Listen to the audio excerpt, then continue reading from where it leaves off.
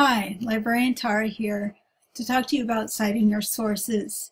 I'm going to talk to you about uh, the reasons why we cite our sources and um, about the two parts of the citations that you're going to need to have whether you cite your sources in the MLA or the APA format. So first of all, what do we mean by cite or citation? So Merriam-Webster says that cite means to mention something, especially as an example, or to support an idea or an opinion. So when we cite our sources, we're bringing in some outside evidence to support what we have to say. Um, and then the, another dictionary opinion, uh, definition says that it's to quote or refer to something as an authority or an example um, in backing up something that we're doing in making an argument. So a similar kind of idea there. Okay, so why do we bother with, oh wait, first of all, oops. Yeah, why do we bother with making a citation? So a couple of reasons. One, we want to give credit to where credit is due. So um, when somebody puts an effort into um, creating a, an article or a study or they create a picture or anything that we're going to use in our research papers or in our presentations or um, you know in anything that we're we're going to put out there um, to the public we need to say hey you know thanks for for for doing that. Thanks for putting in that work and that effort um, you know, and we, we can do that very simply by simply citing the source, right? Um, we also cite our sources to help our audience. So the people that we're presenting to, they might be interested in reading that book that we refer to or the article that we refer to.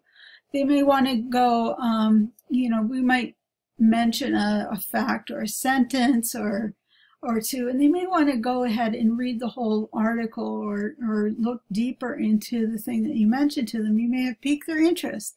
So by telling them where you got the information, then you're helping them to go and further their own research. Um, by citing our sources, we're engaging in a scholarly, scholarly conversation. So the way that scholars talk to one another in a way is through their citations. All research is built upon prior research. So uh, research isn't done out of the blue. It's, you know, somebody, um, you know, stands on the, the shoulders of giants, right? They, they take what's already known through um, prior research and they take the questions that are, are generated by that research and say, okay, based on what we know, because this person did this research and that person did that research, I have this theory and now we're going to test it out. And uh, so I tested it out and this is what I found and this is what I think it means and these are the new questions that come up because of it. And um, so they, in, in doing that, they, they cite all of the sources that they used in coming up with that hypothesis. And so subsequently, somebody else will do an article or a study, and they'll refer to that article saying, well, okay, so this uh, person found this interesting finding, and they had these interesting questions, and I decided to just test that on out. So so they're they're entering into this um, this scholastic conversation that drives the generation of new ideas of new knowledge right through an ongoing conversation right? Okay so we also cite our sources to make us look good right? So if I'm presenting information in a research paper at, at college, right, I'm generally not a, an authority or, a, or an expert on the thing that I'm doing my research paper on, right? Not at this level, not when I'm in, in my first or second year of college. generally even my third or fourth year of college. So um, what I need to do is I need to borrow on the expertise of others. So I do that by um, going out and find, finding good sources of information by uh, experts, right? By authorities. And then um, I'm sharing their ideas, their research, their information with my audience. And I'm letting my audience know that I did that. So I'm saying, um, you know, so they can trust what I have to say because I got authoritative information. Okay, so I'm letting my audience know that I have good information by citing good sources. And of course, you've heard this before, you avoid plagiarism by simply saying where you got your information from. It's all you need to do to avoid plagiarism. Okay, so there are two parts to citing information.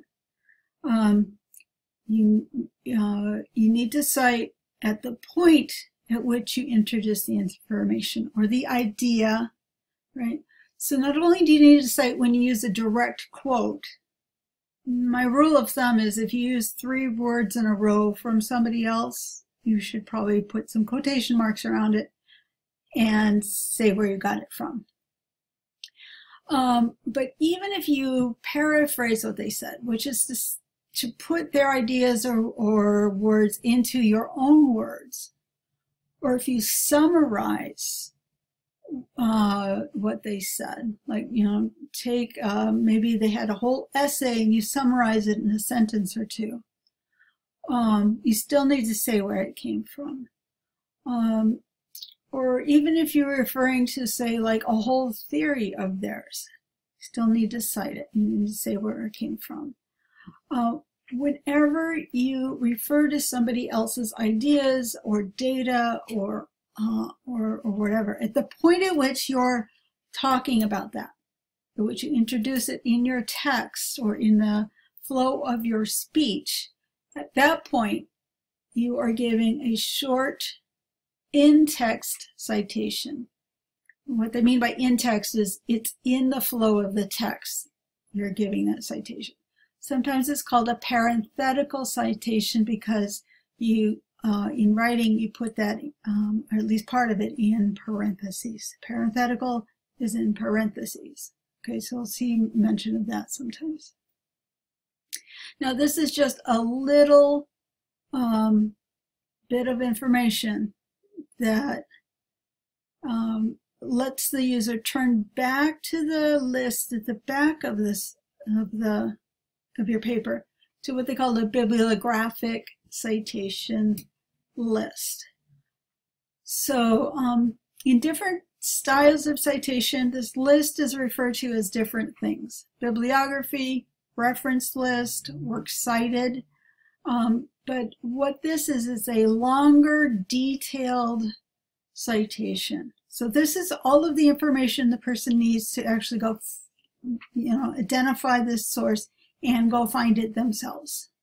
So the in-text citation is really just a pointer. It's like an, an, an, a reverse index, right? So, you know, in books, you have the index that tells you the page, you see a word in a page number. So it's, there's not a whole lot of information there. It just tells you where to go. So this is like the reverse. So in the text of your paper, there's just a little word, which is usually the author's name and a, and the page number, right? So the author's name, you can go back to the back of the page of the paper and see a list of authors' names. You find the authors' names. And then you find the whole citations, right? So now you can go find that same article and know what page to look on on that article. Or you find that book and you know what page to look in on the in the book, right? So um, that's that page is called um, is full of citations they call bibliographic citations. Um, so again, it includes all of the details somebody needs in order to get the, the actual source themselves. Okay, so there's different styles of citing, okay, and they're used by different um, disciplines uh, in different fields of study. Um, so, oops, MLA, for example, the Modern Language Association, they came up with a, kind of a standardized way, like this is the way we're going to cite our sources. Um, so they just have, you know, a certain convention or standard way. This is how we're going to present the sources. And it's typically used by um, uh, language, literature, arts, scholars in music and philosophy and religion, things of this nature. It's uh, very commonly used at uh, community college level. Uh, so here's an example of a passage, or a, um, this is a, a, paraphrase of something from an article. If you ever used your password, you know, just a paraphrase of something. And then you see in, in parentheses the author of the article, the author's last name, and the page number in parentheses. This is in the MLA style. And then underneath that, you'll see the bibliographic citation, which is in uh, the list at the back of the paper. And in MLA, this is called the works cited list. So um, this is the way it's formatted in the MLA style. These are, you know, the bits of information that MLA wants in the citation and in the order and the way that it wants it cited. Um, so for APA, um, that comes from the American Psychological or American Psychology Association, pardon me. Um, and they're used by scholars not only in psychology but other social sciences, such as business, economics, political science, uh, social work, etc. Um, and so the, the idea is the same, the format is slightly different. So again, we have the very same paraphrase here.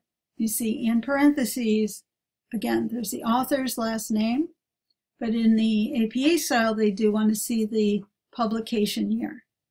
And then they have a P for the page number and the page number itself. So very similar, just a little bit different. And then uh, we see um, then the, uh, sorry, the spacing's a little off there, uh, the bibliographic citation. So in APA, that list is called um, uh, references, I believe. Uh, so we see the author's last name and the year and the title of the article and, and you know, similar things go into the citation. Um, but the way it's arranged and the way they, you know, want to display the the volume and the issue number and that is a little bit different, but the idea is the same to give the, enough information to the reader so they can go get that article themselves if they want to read it. Now I want to show you, I'm going to go to the um,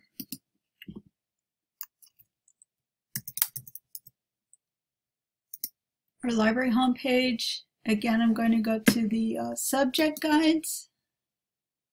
I'm going to scroll down to the technology guide that I made for your class. And, oh, I'm sorry, I am not doing that. I'm going to go back. I'm going to show you there's a whole um, citation guide. So I'll go back up here to citations.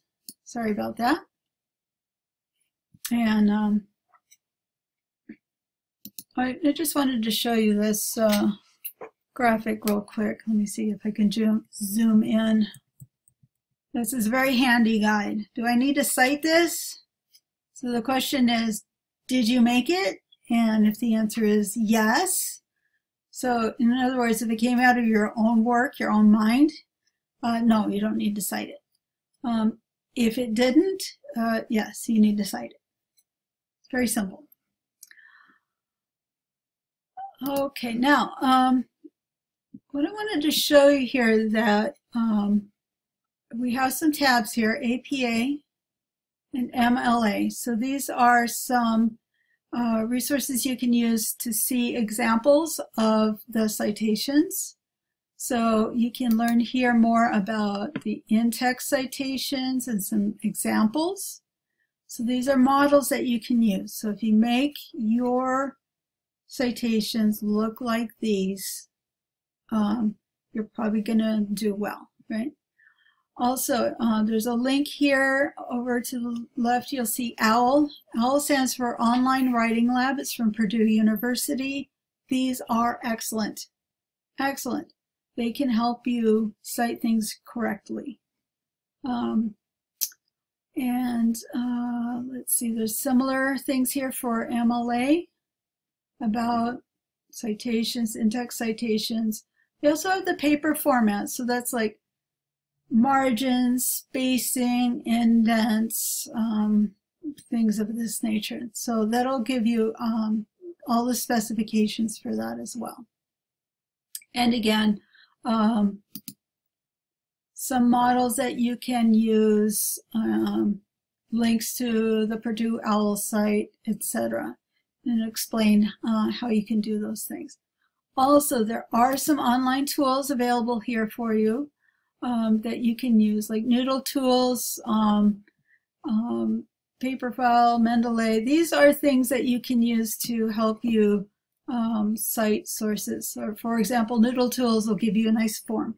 It'll ask you, first of all, what do you have? Well, I have a, um, uh, uh, a government document. Okay, so here's a form. Fill this out, and it will guide you through um, what it, you, you know what you need, um, and how you, what do you capitalize and what don't you, and it will form. It'll it'll like generate a, a formatted citation for you. Um, also, you might notice in most of the databases, there's a cite button or something like that where you can get a formatted citation. Uh, use those with caution. However, um, I found that I would say four times out of five, there is some mistake that you need to correct when you use those. Um, so just be aware of that. Um, they might save you a little time. You know, you don't have to figure out, well, do I need a comma there or a period? But um, there may be something you need to correct um, because it's, it's something that's just created by a computer algorithm. And, you know, it's not smart enough to figure out like, oh, that doesn't need to be completely capitalized like that. So, um, use those with caution. Use these with caution for the same reason. Um, so oftentimes I find that you know, you know, by the time you get get done, uh, you know, writing three or four papers, you're going to be pretty fast at doing this from scratch anyway. Um, and you know, especially, and if you have something tricky, you can look it up in OWL or whatever. And if you have something uh, particularly tricky, uh, bring it to me. I love those tricky ones. It's kind of like a puzzle, you know. I, don't know. I like a challenge, uh, and I am not afraid. I'll, I'll cite anything. Uh, bring it on. Um, and another thing, uh, you know, we're happy. The librarians we're happy to like double check your citations for you. You know, we're we just really, you know, this can be tricky citing your your your citing your sources can be kind of tricky, especially some of the sources you can find these days. You're like, I don't know, it's like a reprint of a government um, document, but it's online, but it's inside of a database, and you know, how do you cite that? It can be really kind of tricky sometimes. So, you know, come see a librarian. We'll try to help you out with that. be happy to.